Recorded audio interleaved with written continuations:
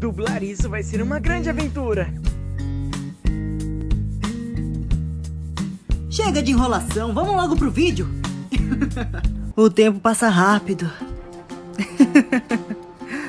Vá, que o vento sempre esteja às suas costas.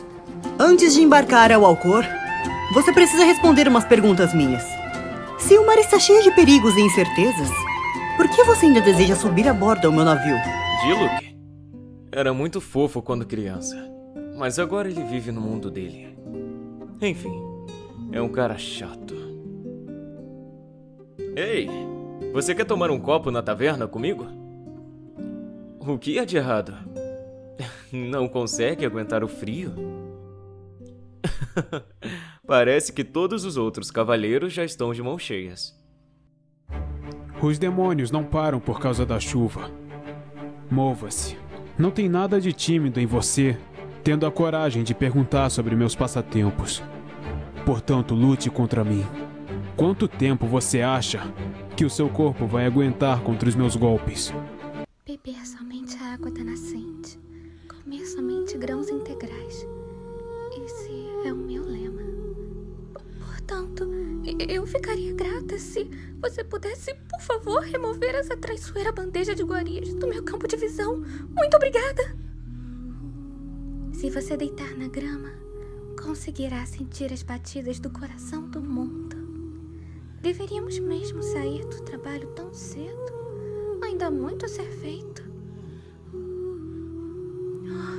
O sol já surgiu. Quando isso aconteceu? Bom, não é tão ruim quanto você já ouviu falar. Erros acontecem, fala a verdade. Quem nunca caiu em um buraco de um caçador? Ou foi atingido por uma árvore que caiu na sua cabeça enquanto você explorava pela floresta? Já que eu sou um aventureiro, não vou ficar de frescura e exigir comida chique. Eu também odeio comida picante. Como, por exemplo, aquela pimenta Jueyun, que no Brasil é mais conhecido como pimenta malagueta. Ô, pimentinha forte, viu? Quando eu como esse veneno, me dá falta de ar. E o único ar que eu consigo respirar, eu passo mal. E depois vem até caganeira. Realmente eu não entendo a existência dessa coisa. Tite esqueceu o guarda-chuva. De novo. Devia ter ajudado o Dr. Paisan com os remédios. Mas Tite esqueceu. Quem é essa? Olha, começou a chover. Poderia pegar um guarda-chuva para mim?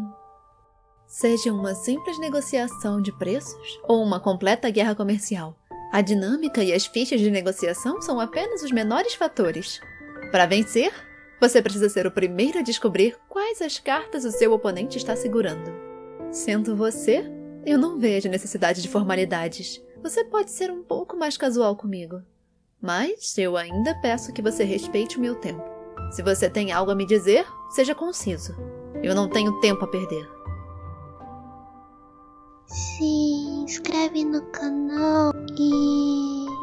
Ah, eu esqueci. Curtir. Curta o vídeo se gostar de nossos conteúdos. Coco Cabra. Que sensação assustadora! Cabra.